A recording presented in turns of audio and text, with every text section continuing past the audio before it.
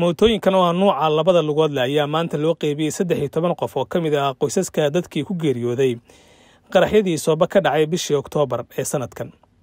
Deeqdan mootooyinka ayaa ka timid hay'adaha ka shaqeeya gargaarka kuwaasi oo kaashanaya hay'adda maaraynta masiibooyinka qaranka ee soomaaliya. Mootooyinkan ayaa loogu talagalay in qoysaska dadkoodii ku waayay qaraxyadii soobe ay nolol maalmeedkooda ku raadsadaan goobta lagu qaybinaya mootooyinkan waxaa goobjoog ahaa. Safiirka dowladda turkiga u fadhiya soomaaliya guddoomiyaha hay'adda maaraynta masiibooyinka qaranka iyo xubno kale.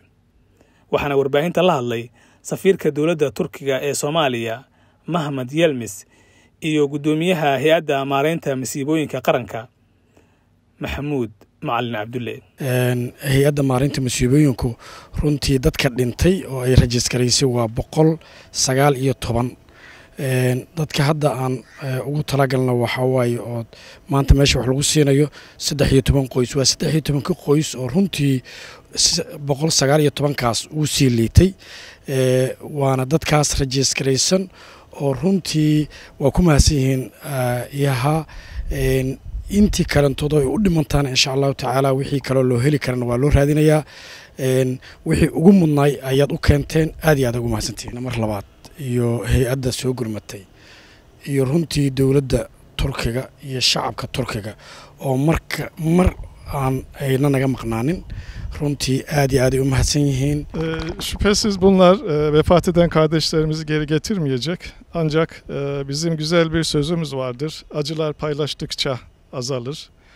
E, biz de e, Somali kardeşlerimizin acılarını bir nebze paylaşmak için e, esasen bu program yaptık.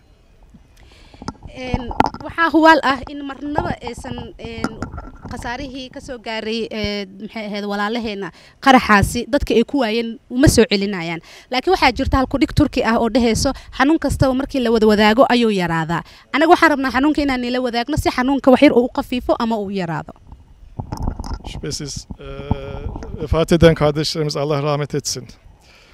E, bu proje kapsamında yakınlarını kaybeden e, 13 Somali kardeşimize e, birer motosiklet hediye edecek inşallah İHA Hollanda.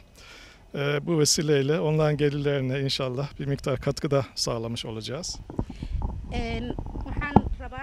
Inaan idin dhaho dhammaan walaalaheena ku dhintay qaraxaasi ilaahay ha u naxariisto marka ugu horeyso.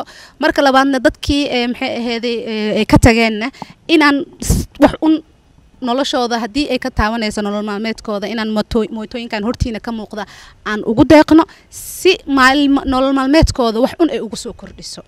Cabdulaahi axmed nuur universal t v muqdisho